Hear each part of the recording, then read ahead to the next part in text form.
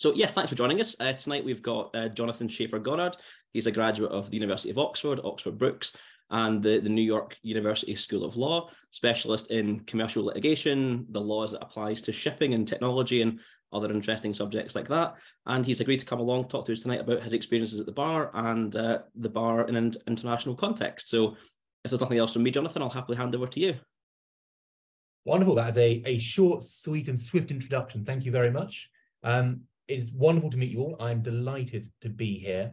Uh, I've always been a massive uh, fan of the Open University, uh, having both competed against um, uh, members of your law program in Moots when I was a student, and then uh, judged members of your law pro program in uh, Moots later on. Um, I've always been. I feel I feel compelled to ask the first question a little, a little early, but how did you do against our, our law society members? I, I did win, um, okay. but it was actually quite hard fought, uh, and I and I, have always been tremendously impressed uh, by the guys from the Open University when I've judged them. Uh, so I'll be saying more about mooting, but I, I, I come with a great deal of sort of a, a goodwill towards the Open University and really quite um quite delighted to be asked to speak to you. I'm well, well done on turning the audience against you in the first few minutes with the. Is that a record? Do you think? yeah, probably, probably. Anyway, no, sorry, I, I interjected. no, no, not at all. I, I'm going to speak about uh, a few topics briefly, with a view to sort of opening us up for uh, discussion and questions, so you don't just listen to me prattle on. Um, so that you have a basic uh, idea of the route I'm going to take. I'm going to say a little bit more about uh, myself for 30 seconds. I'm then going to talk about the route to the bar, and in particular the commercial bar, much of which I'm sure you've heard before, so I'm not going to linger there. I'm then going to talk about international practice and the opportunities for international practice uh, across the bar, but uh, focusing in particular on what I know, which is the commercial bar. Uh, and then I'm going to look a bit about, to talk a bit about the future of transnational disputes from an English perspective and uh, what I see there. And then I'm going to talk briefly about uh, dual qualification, uh, foreign legal study and foreign legal practice. And as I think has been mentioned briefly in the in the pre-discussion, I am currently sitting in New York, which is why I'm bathed in sunlight. The weather here is a balmy 70 something in Fahrenheit. Uh, I've given up trying to work out what that is in Celsius, but uh, warm would about summarize it. Uh, and I'll talk a bit about what I'm doing in New York and uh, and those opportunities. But I'm going to go through the sort of swift canter uh, to give space for uh, discussion, etc. afterwards. And I'm going to leave that to the end. So I'm going to run through and then we'll have opportunities to pick up anything that I've talked about uh, or indeed anything else that's on your minds. So as Jonathan said, I did a non-law undergraduate degree. I then did a part-time GDL at Oxford Brookes uh, and worked full-time alongside that. Uh, I then did the bar course and worked alongside that.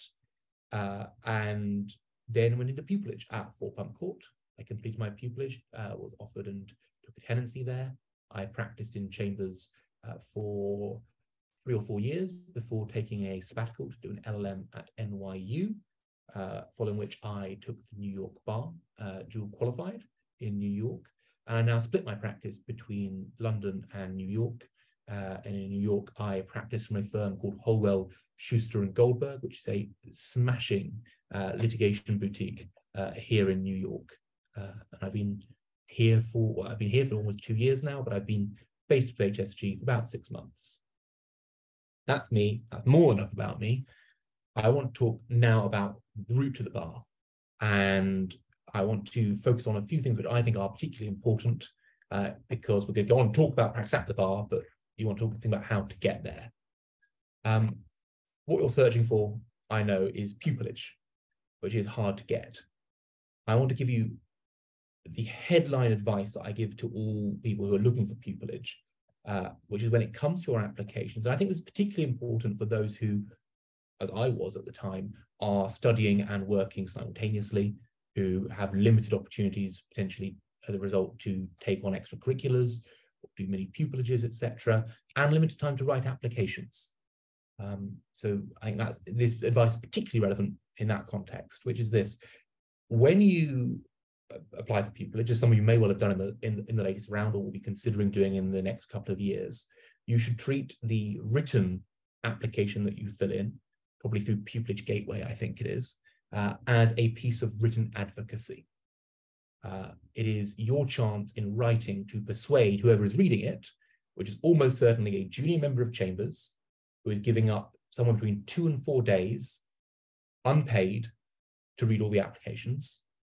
Uh, it's your chance to persuade that person that at least you should be given an interview, and ideally that you are a strong candidate just on paper for pupillage.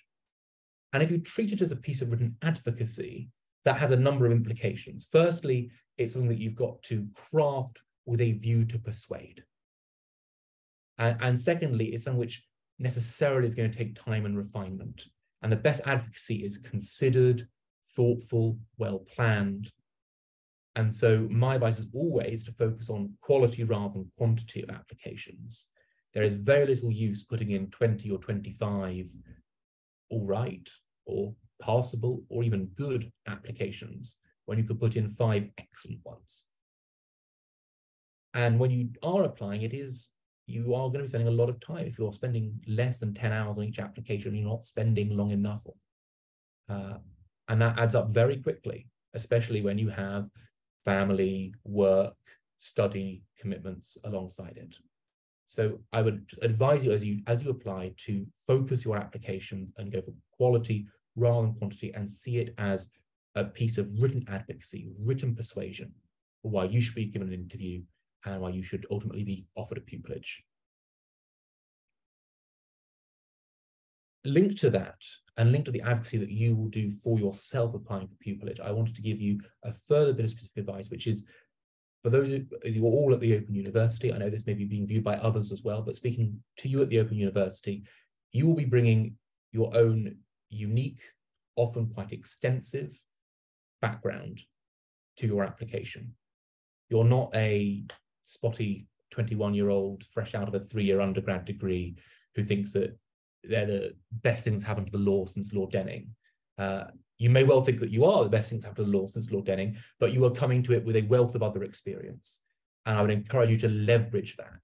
It is unique to you, it is valuable, and it can all be turned into, into points in your favor for getting pupillage. I see it as a massive advantage to come to the bar with that prior experience, whatever it is. Uh, and really, whatever it is, it can be leveraged in an explanation for why you uh, will be an excellent barrister. So I would urge you to do that and make the most of it. It's the sort of thing that ought to be highlighted, I think, in any application coming from people who've, as I assume you all have, have, have had some former career, former life uh, before embarking on your studies at the Open University and then seeking pupillage. And then finally, I'm going to say one thing which I was told not to say, but I'm going to say actually is very, very important. And that is that you should do mooting. Uh, it, I've been told you've been told this before, and that's why I shouldn't say it. Um, but I'm going to tell you again because it is the most important thing I think that anyone thinking about the bar can do. You don't have to win. You don't have to come second. You don't even have to sort of do very well at it. Of course, if you do, that's marvelous. Um, but there are only so many moots and only so many people who can win those moots. What you do have to do, though, is do it. Show that you are able to do it. Show that you are able to uh, develop and use and learn the skills uh, that mooting gives you. And I can talk about that more later on if you want to, uh, but I would just urge you all to moot. Um, and I'll put in a plug here for uh, both the EFCU Ethics Court mooting competition, which I'm on uh, the advisory committee for and a big fan of, and also uh, for those of you who have not yet joined an inn, for Inner Temple, my Inn of Court, and their absolutely excellent mooting society, which I'm the barrister liaison for. Uh, I can thoroughly recommend Inner as an inn on the basis of the mooting opportunities that, that society and the inn as a whole gives to students. I'm going to turn now away from the path to the bar and advice for pupillage. I'm sure you've heard much of that before, to the main meat of what I want to talk about. And firstly, that is international practice and the opportunities for international practice at the bar. The first thing I want to say is that whether you're interested in family law, criminal law, general civil, PI, uh, or commercial, uh, or even chancery, uh, there are massive opportunities for international practice at the bar. Uh, in, in criminal, you can just need to look at the international courts uh, and uh, not least whatever will come out of the current conflict in Ukraine. Large numbers of members, large numbers of members of the English bar are involved in uh, in efforts in international criminal justice, and there is massive scope for that. Extradition, another obvious uh, place within criminal law for international practice. Family law increasingly has major international elements, whether that's assets abroad, whether that's in movement of people across borders in the context of family disputes, in particular international child abduction, where one parent leaves a jurisdiction with a child for another jurisdiction in a sort of uh, forum shopping attempt. Uh, that is a key area uh, in in the English family courts, and the English courts hear, I think, hundreds now of disputes involving international child abduction, which often involves coordinating across multiple jurisdictions. That is a major area of international practice in the context of family law. PI and travel, some of the major conflict of laws and jurisdictions, jurisdictional decisions come from uh, injuries abroad and uh, personal injury claims as the background for uh, difficult conflict of laws and uh, jurisdictional questions. You just need to look at the Brownlie decision in the Supreme Court last term, last year, uh, as an example for that. And then finally, the commercial bar, which is what I know best. I should say Chancery Bar, offshore work, the BVI, Cayman, uh, Jersey, Guernsey are all places where British barristers regularly work, regularly appear, regularly advise, and there are massive opportunities there for international practice. But commercial, the English commercial court is respected around the world as a place to resolve disputes, and rightly so. And the result is that if you look at the caseload of the reports each year that the commercial court issues, you will see that an extraordinary number of the disputes heard in the commercial court uh, each year involve one or both or all parties uh, being from outside England and Wales. Foreign parties regularly choose English law and or English jurisdiction to determine their disputes. And you can have a massively international practice and sense of international clients and disputes centered on events abroad at the commercial bar uh, without ever leaving uh, your, your, your, your room and chambers. But there are opportunities beyond that, the international commercial courts, uh, particularly those opening in uh, the Gulf states uh, and elsewhere in Singapore.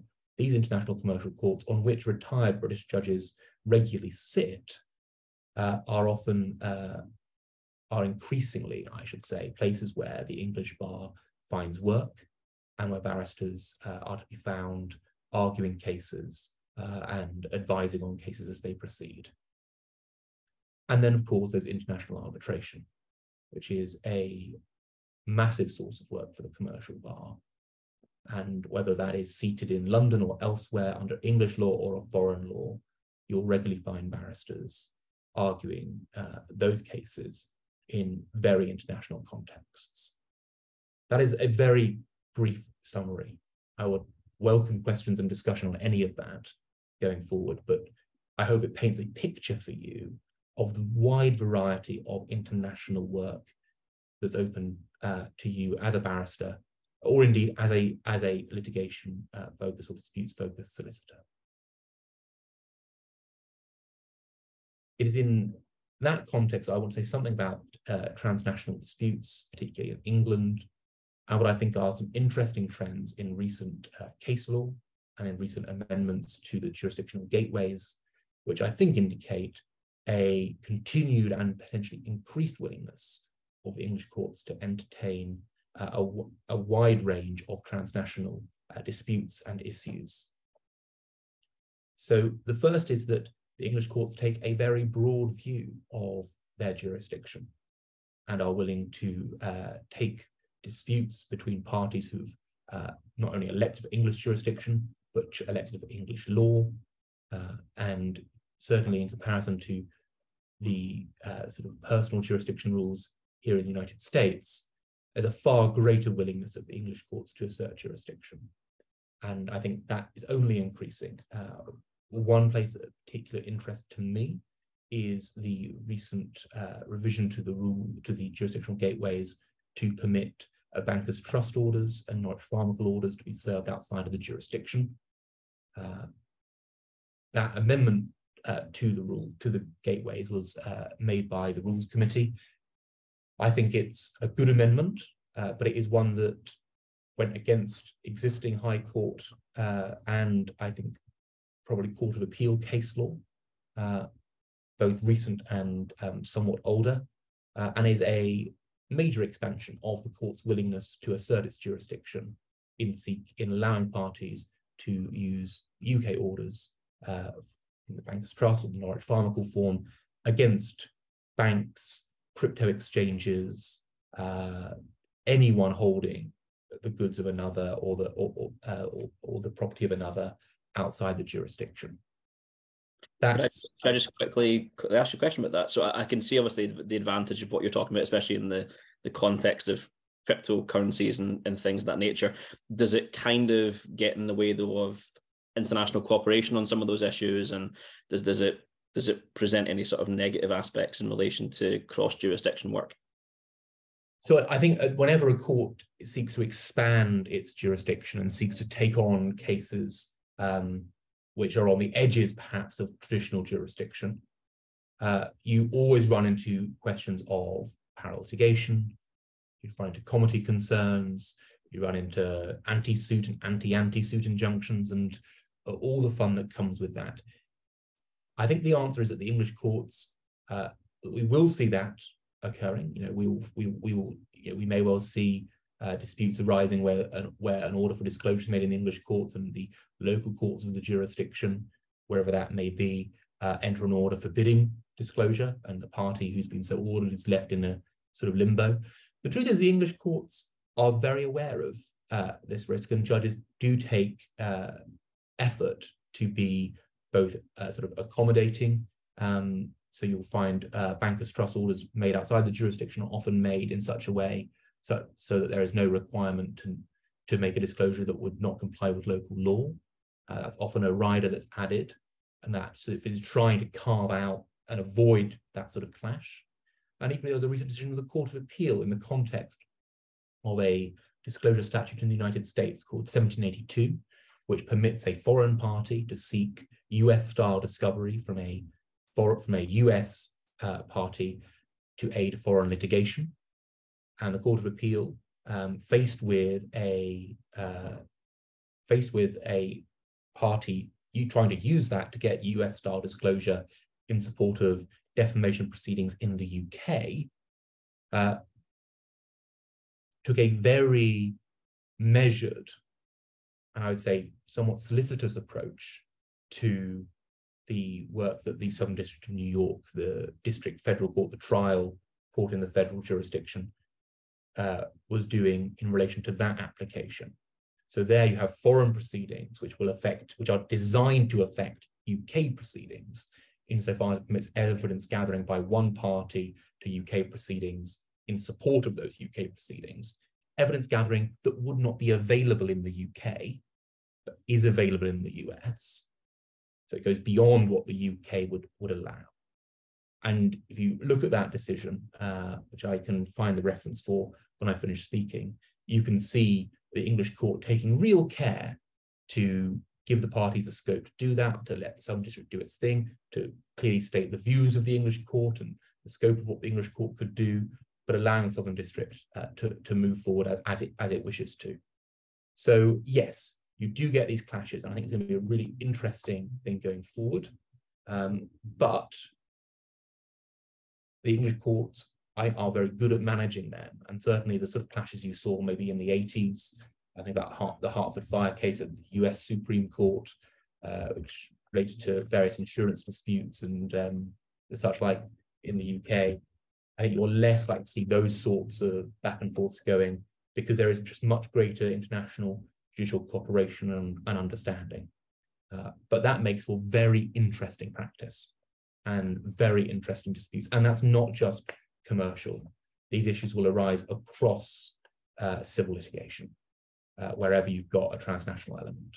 It sounds almost like something baked into the culture of, of the sort of um, uh, judges and courts that you're talking about, and just a shift in a shift in mentality, even if not a shift in formal rules and governance. Did, did I catch that correctly? I I I I would have said so. Uh, English judges have, especially sitting in on in the commercial in the commercial court, have always been extremely sophisticated um, practitioners and extremely who then become extremely sophisticated judges.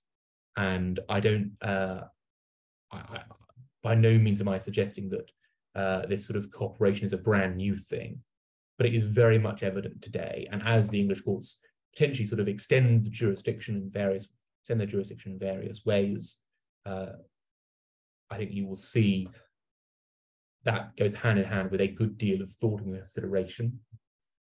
What becomes interesting is if you have foreign courts who uh, either weigh that differently or don't really consider it so much and the impact on UK proceedings. But that is part of what is so enjoyable about uh, international practice at the bar. Again, that, whether that's commercial or otherwise, uh, is engaging in those sorts of things, engaging with other jurisdictions, engaging with lawyers in other jurisdictions, and uh, engage and dealing with parallel litigation across multiple jurisdictions, potentially between uh, arbitration and litigation. Um, so I think that is um, that, that's all very important. And then linked to that, there was a recent Court of Appeal decision on uh, the scope of third-party disclosure in um, the case of Gorbachev and Guriev. Again, that was the end of last year. But again, just an extension by the Court of Appeal there of the willingness to order uh, third party disclosure against, I, I memory is a third party outside uh, the United Kingdom, where the materials within the United Kingdom, uh, that was an extension of the case law. Uh, and again, a willingness to exert sort of it, to, to apply jurisdiction further than it had been before.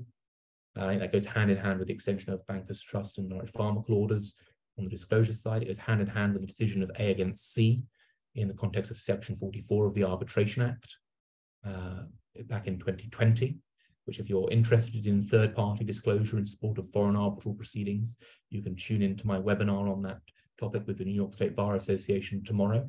Um, pop, pop, a, pop a link in the chat. Some people may well. Um, it's, a, it's, a, it's an interesting topic. I will, I will, I will send a link. I will send a link round. Um, an interesting topic, which is the subject in part of the Law Commission's uh, review of the Arbitration Act, which is ongoing. And certainly, if we're talking about international practice, uh, you can't really talk about international practice without talking about international arbitration.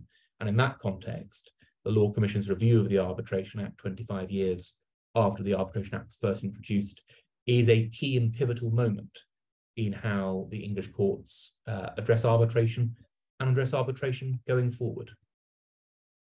And finally, uh, we've mentioned very briefly in passing in relation to uh, sort of the future of transnational disputes and bankers trust and Pharmacal uh, crypto.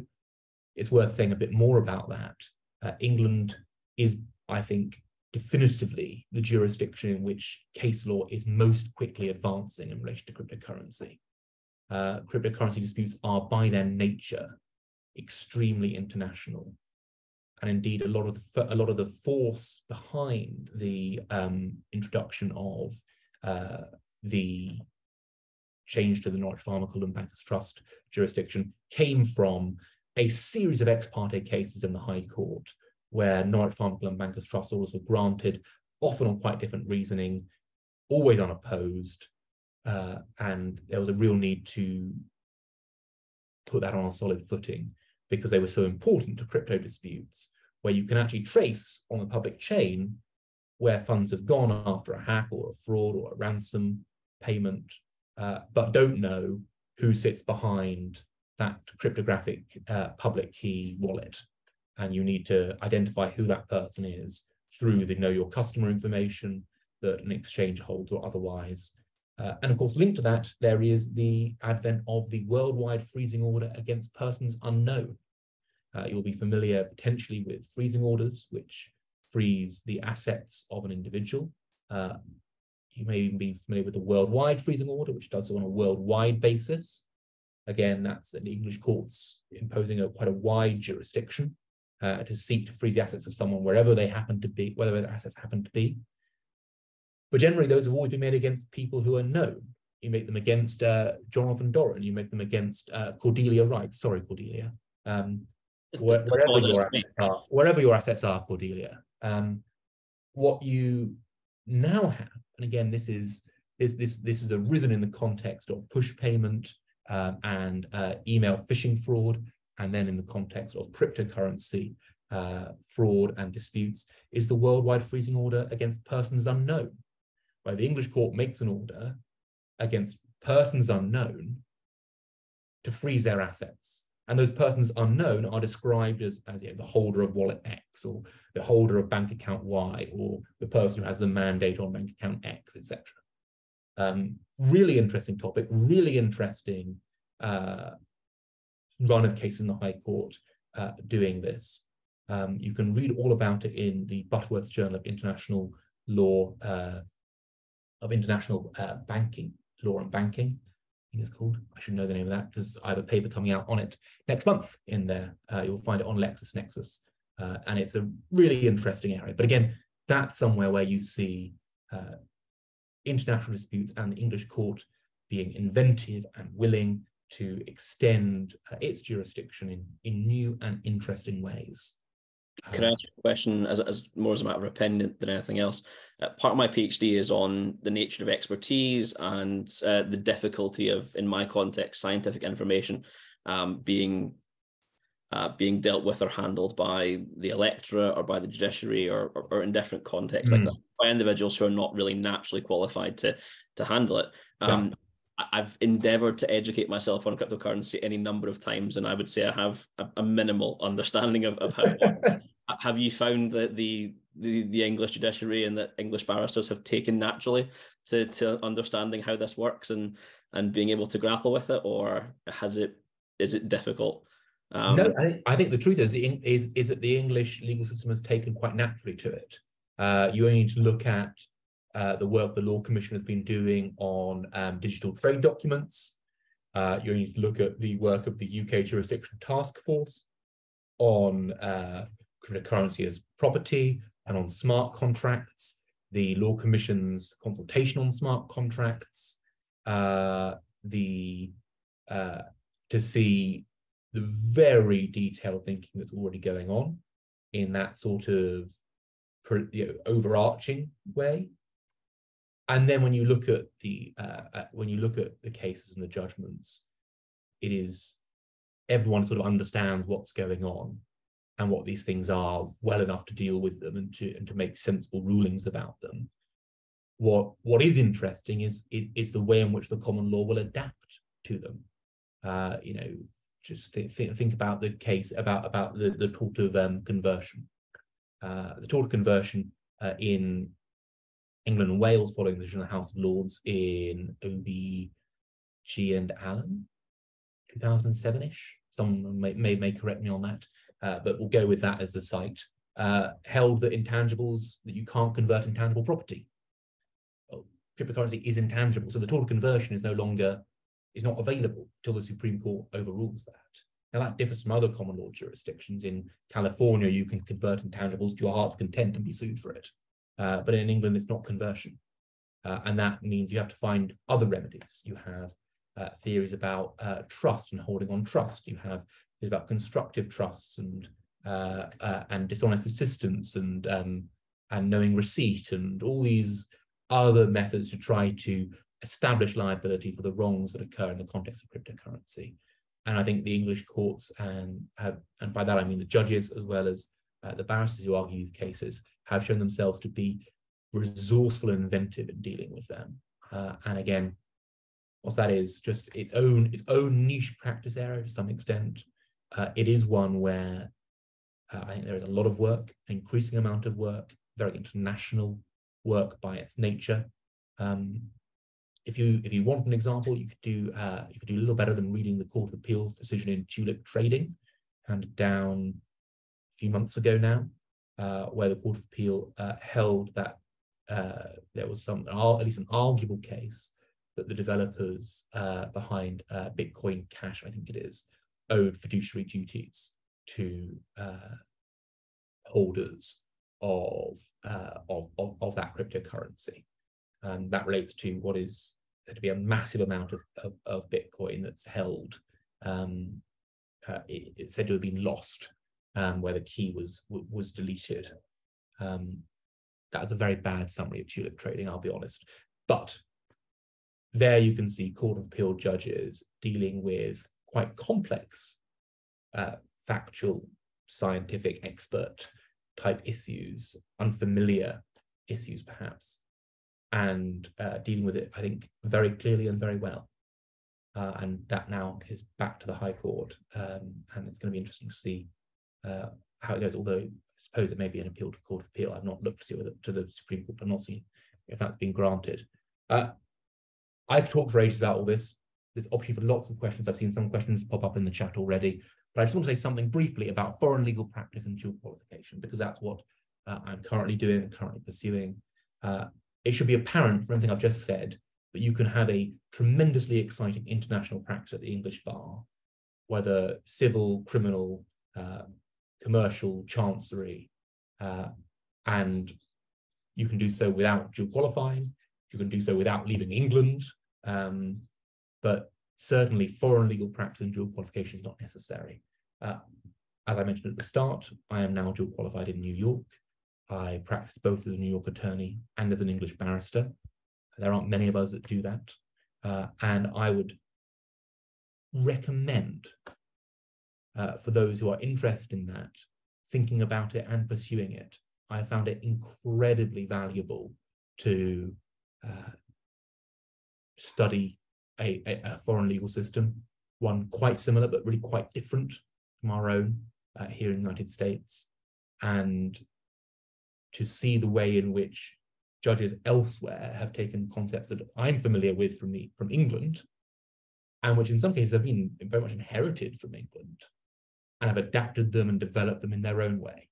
Uh, it's tremendously interesting and tremendously um, uh, beneficial as you think about the law from your English context to have that foreign uh, input and context to compare and contrast and to place in conversation.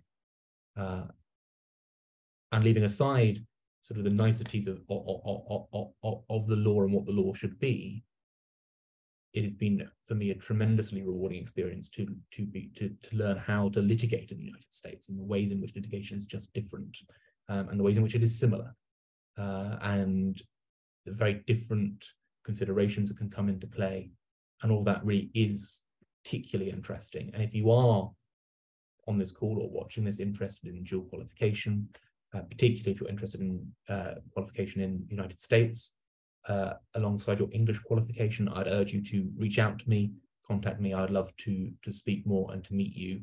But I know that may be a minor interest, so I'm not going to major on it uh, here.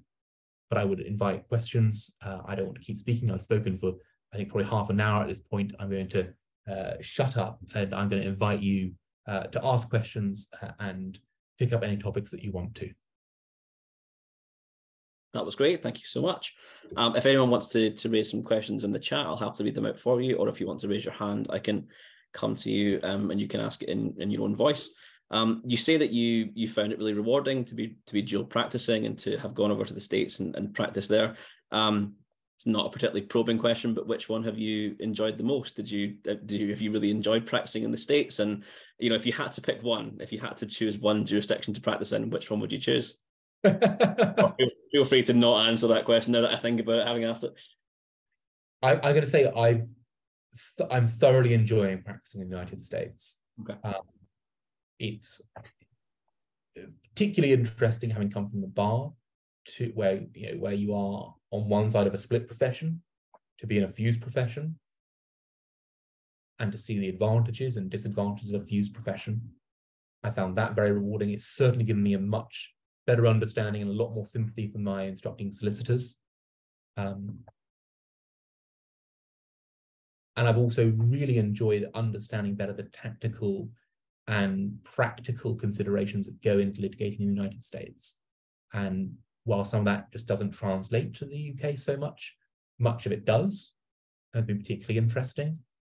I will say I do love the life of a barrister, the life of um, picking up papers and heading into court often at short notice. One of my one of my favorite cases I did was was an arbitration, uh, one day arbitration where I got the papers on the Friday and had to argue it uh, on on the Monday, and nothing has yet beaten the thrill of that sort of high stakes, short notice sort of work.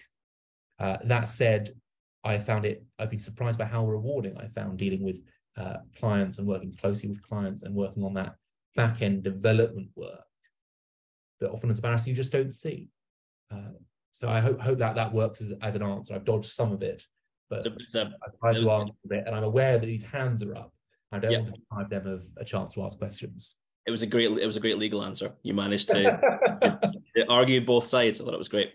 Um, let me do one from the chat and then we'll go to some of those hands. Um, so uh, what was it that made you decide to practice law in New York and how did you find taking the exams overseas? Great question. I, uh, my wife is American, and we had always intended um, that I'd be able to practice in the United States. And as a GDL student, I was not eligible for the New York bar automatically. If you've done an LLB, uh, you are uh, eligible for the New York bar automatically. I can't tell you I know how they treat the Open University, but I don't see there being an issue if it's a three-year LLB equivalent. Um, I knowing I wanted to dual qualify, have sought to develop and build a practice which incorporates that and makes it a makes it a a, a, a selling point for me. In terms of the exams, I the exam is fairly grueling. It's a two-day uh, main exam with two earlier parts that run for a couple of hours each. Although one involves watching a lot of videos, which was very tiresome, I'll be honest.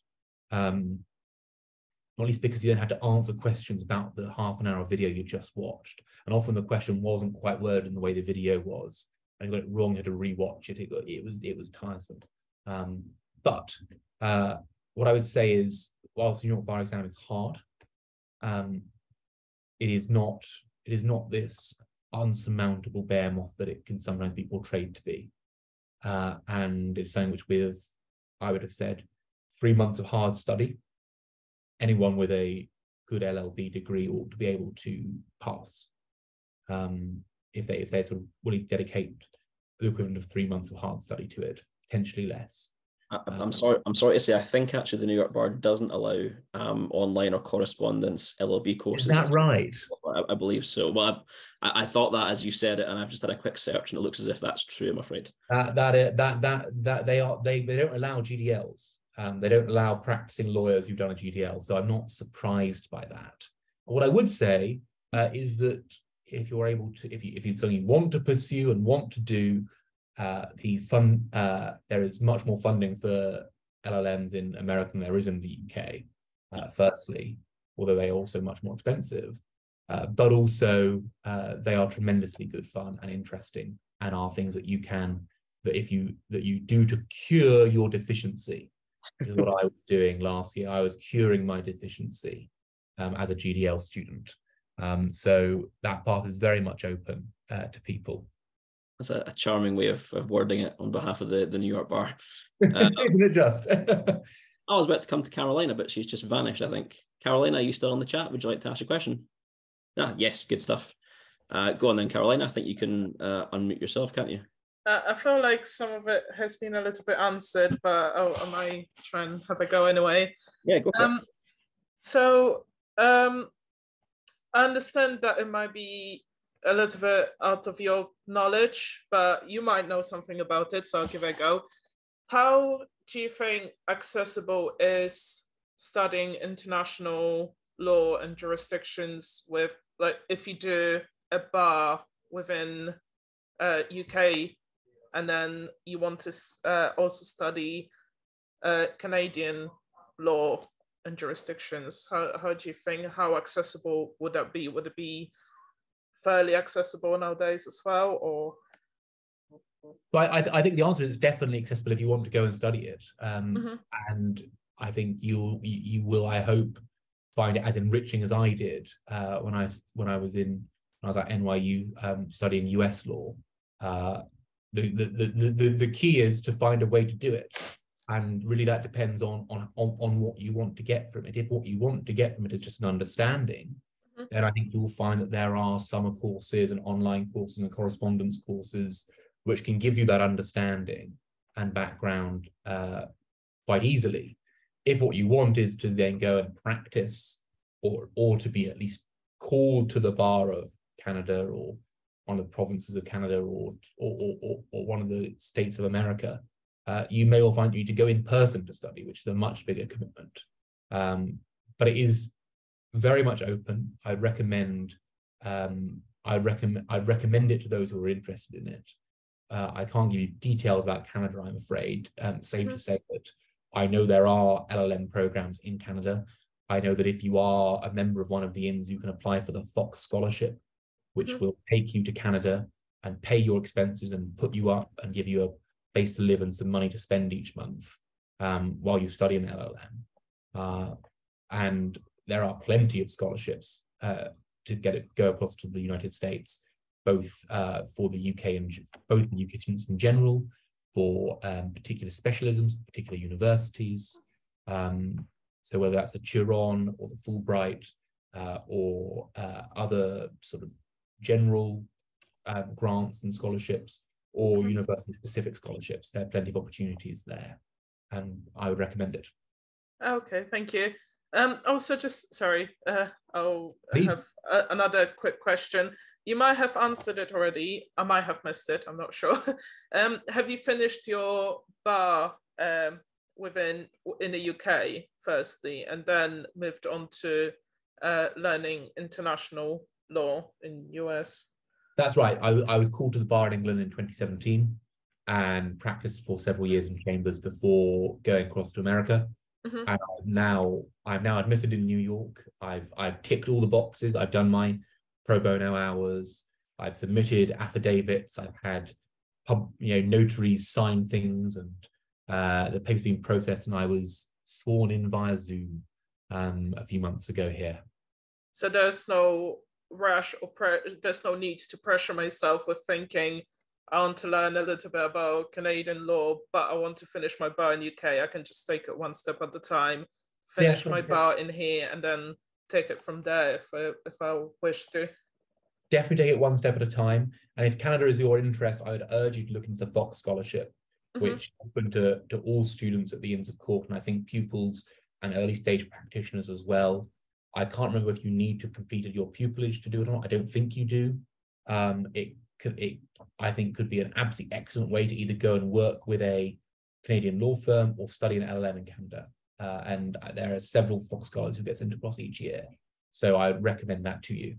Thank you very much. Is there a, a website? Uh, should I just? Uh, I think if you little- Google it, it should show up. Is my is my is my memory. Okay, I will do. Thank you very much. Good luck. The, the delicious irony of being sworn in via Zoom, given the defect we just discussed about the the OU students in the New York bar.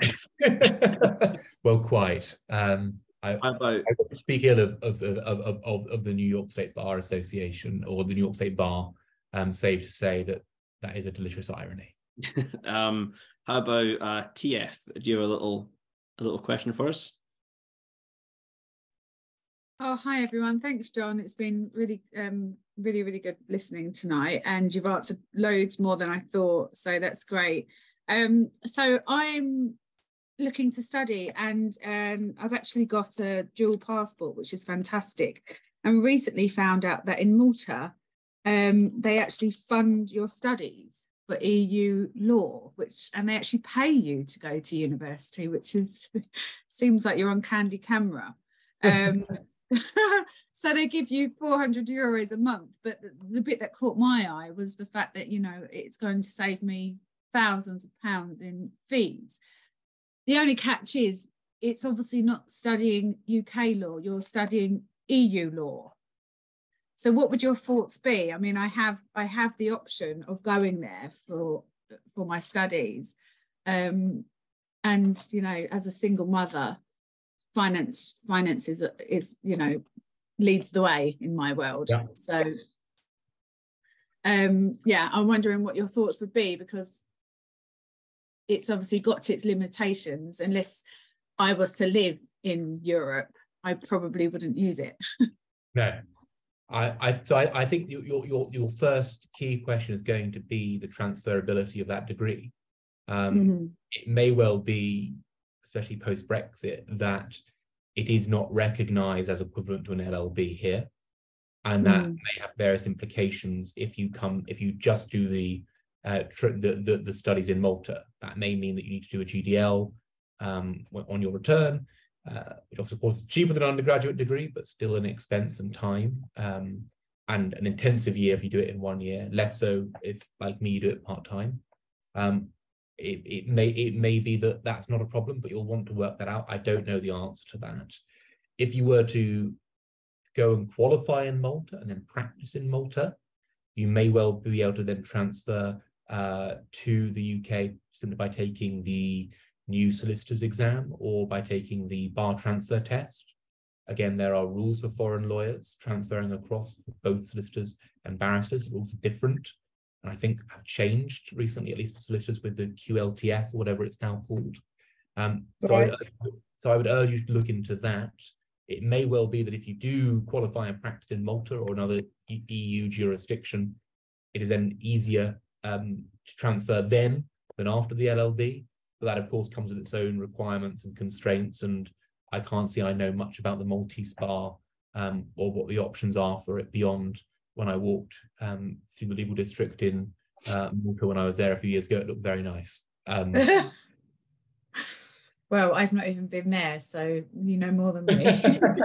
but I would, I would, I would, urge you before before taking um, what sounds like a, a very good opportunity yeah. financial perspective to make sure that you understand after the course of study and or after qualification what your options are on returning. Um, yeah. And and all I would say is that is that anyone who comes to the UK to the to the English bar or as a solicitor with a foreign qualification as their primary qualification will need to do some translation and explanation of that. But I don't see that that will of itself, especially if you, what you want to do is something that's European focused or facing in, in your Mhm. practice, be a be an be a be a major impediment. Uh, but those are the those are things I would urge you to consider um, before before diving in um, to the free study and 400 euros a month. Yes, yes. I think they have charmed me and whisked me off my feet because I've totally forgot to even consider those questions. Yeah, well, th- th- those if you when you have the answers to those, I think you'll be in a much better place to to make the call. And I wish you um, the very best of luck with it. Thank you. It, it was a it was a factor for myself as well. I mean, I'm based here in Scotland, but my my law studies were not Scots law. It was English and Welsh law because actually because I was interested in the US and, and that seemed like a more transferable jurisdiction than um, than qualifying in Scots law, and I, I didn't fancy a career in Scots law. So um, yeah, I was mindful myself in my studies about which which jurisdiction I was going to qualify qualify in. So Uh, where did you go? Did I you sta- say you, Oh, sorry. where did you where did you choose? Oh, I- well, I, I studied with the, the University of London um, and then finished up with the OU. Um, Oh so, right. yeah, Awesome. indeed. Uh, how about Emilio? Oh yeah, sorry, because Scotland have got the same opportunity, haven't they? I just thought Yes. on to what you were saying. Scotland uh, also have free university. Yes, yeah, indeed. Yeah, not not Yes. not just Malta. Isn't monopolised by Malta. No. Uh, how about yourself, Emilio? Do you have a question? There we go.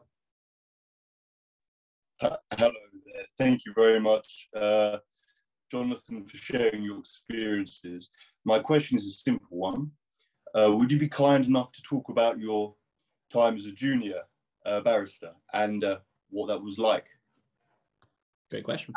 Absolutely. I, I always get nervous when it's a simple question uh, because you, nine times out of ten, it's not a simple question and it's quite complicated. This one I can answer and I'd be delighted to. My practice as a junior barrister was a really nice mix of uh, sole counsel and lead work, of uh, general civil, what one might call knockabout county court work, uh, and high stakes, uh, high value commercial work.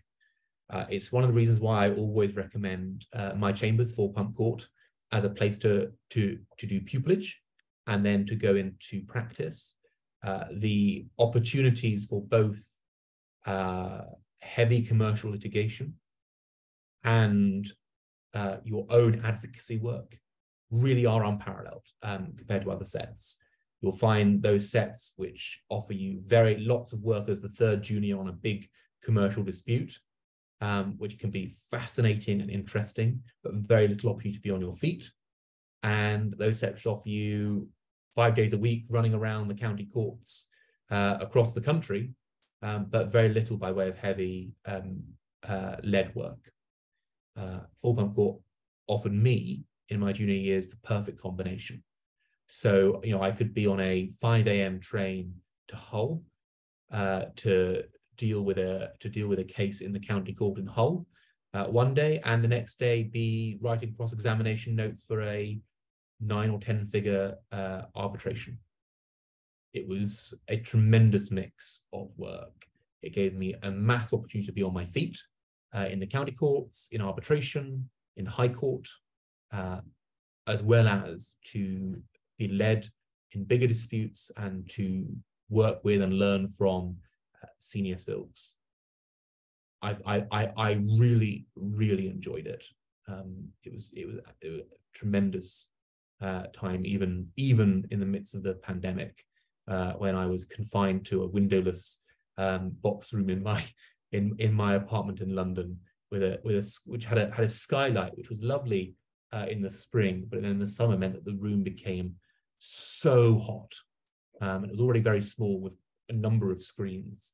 Um, not the best working environment, uh, but I didn't dampen how much I was enjoying the range of work. And in addition to that, I'd say there's a lot of um, a lot of advice, advices, written work, pleadings, uh, and I worked across a very large number of matters uh, in a variety of commercial and general civil um, contexts. It was tremendous. And as I say, would certainly recommend 4 Pump Court as a place to do mini pupillage, to do pupillage and to practice. We have one in the in the written discussion here about um, broadly speaking, whether or not having not attended a, a law school in America would be a, a career disadvantage, whether it would you would struggle to secure work in some way if you hadn't gone to law school in the US. I think you would if you were looking to do pure US work in, in, in, in, in America.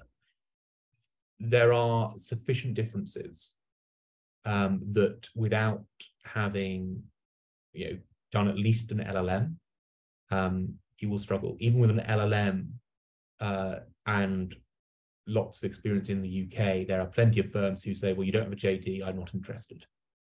And that's because there is a very well established path from you know undergraduate and the LSAT to the JD to your 1L summer, your 2L summer, your offer, you sit your final exams, you have your your you sit your bar exam, you join the firm, you're a law clerk, you're a first year, a second year, a third year, and there's a conveyor belt you go through. And people who come from even with an LLM from a American university are often treated with confusion um, that's, I think, particularly uh, going to be the case if you're coming without any US experience. Um, that said, if what you're interested in is international arbitration, or if you're looking at transactional work, uh, you may well find that if you're if you're qualified elsewhere um, and have experience elsewhere, it's relevant to that, and have just taken the New York bar as something that you were able to take without studying in the United States, that won't be an issue. Uh, but certainly, if you're looking to do litigation in the United States, um, and indeed, I think a lot of transactional work um, or domestic arbitration, you will need at least an LLM uh, to be taken to be to be understood, um, to and to and to be able to sort of convince them that you understand the niceties of um, personal jurisdiction and subject matter jurisdiction and federalism and diversity jurisdiction and all these things which uh, which you will learn uh, on a JD or on an LLM. But I should say, if that is something that you are passionate and interested about, again, there are all sorts of opportunities for funding. Um, and the big price tag of an LLM does not need uh, to shut down the conversation before it begins. You, have prompted my memory. There was a question I was going to ask you um, that you've, you've brought back to mind. I'm interested in, in the New York jurisdiction because I'm interested in scientific IP law. Um, would you be have, have had that same interest for international practice and in particular for New York as a jurisdiction if it wasn't for the fact that your speciality is broadly speaking commercial law and, and things like that? I, I think the US UK um, relationship means that commercial is particularly interesting for that. And I think that I would I would include IP in that in, in that broad definition of commercial um, for, for what it's worth. That said, uh, there's no reason that it shouldn't be relevant for other um, for, in other practice areas. But I think the New York, London, New York, England and Wales jurisdictional links in the context of civil and particularly commercial cases is particularly strong. But you, you might not necessarily have had that same inclination if your if your discipline was different. Is that that that correct? I I I, I think I would have I think there would be it would have been less obvious. Yeah. I, I certainly don't want to rule out that as a PI lawyer, dual qualification can be particularly valuable. I I I know of PI lawyers who regularly do work in the United States and for whom that is an important part of of, of their practice. I'm not going to say that's not true of, of, of criminal, etc. But I do think that for me, the opportunities in the commercial context were particularly obvious and continue to be so. Uh, how about yourself, Philippe? Would you be interested in, in, asking a question? I see you've got your hand up. Yes, thank you very much. Uh, I have a question about international arbitration, and I was wondering if you could possibly discuss or have any views on bridges between the bar and a career as an arbitrator, and uh, how best to effect such a switch. So I think the answer is that people people begin to sit as arbitrators at all sorts of different stages. Um, I think if you if you were to if you were to graph that, um, you would find that it mostly happens some point after taking silk. Uh, but I um, I know junior barristers who do sit as arbitrators. I know junior barristers under 10 years call who sit as arbitrators, certainly not full time, but who, who do. Um, so it is something which you can start early on. As with these sorts, these sorts of things, the, the big question is always getting your first appointment as an arbitrator. It's not something that I've pursued at this stage. Uh, as I say, I know people who have, but generally it's something that you do later on. And it's very common, I think, to combine uh, your practice as, as, counsel with your practice as an arbitrator for a time, uh, what one might call double hatting, before uh, becoming an arbitrator full time. Now, that practice has people, people, international, the international arbitration community takes different views on that double hatting uh, that, that barristers often do, where they might sit as an arbitrator as well as acting as counsel in international arbitrations. But it's certainly something that happens these days. But to answer your question, right now, for the most part, full, people become full-time arbitrators from the bar, either after becoming a judge and retiring from the bench and thinking that they'd like to continue doing something but can't return to practice as counsel. Um, and so become arbitrators, and you'll see that at all the commercial sets. You have these former judges who now sit as arbitrator members um, and uh, it's a thing uh, that people do from silk. Um, but I, as I say, there are options at the junior end, but certainly not, I would have thought, full time options. Shall we end on a, a hard hit? Shall we end on a hard hitting question? So, law is a profession that's quite well known for colleagues socializing after office hours and, and things like that. Uh, London or New York, which is the better one for the better for that? Uh, London. Fair enough.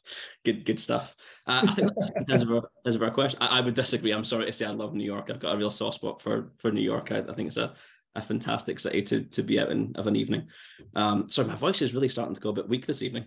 Um, I think we've exhausted all, all the questions now. If there's if there's nothing else uh, forthcoming, um, we've sent you a little gift by the way to to your your practice in New York um, for, for oh. coming along tonight. Really appreciate you coming along. And uh, thank you so much for for coming. Um, I'll end the recording there.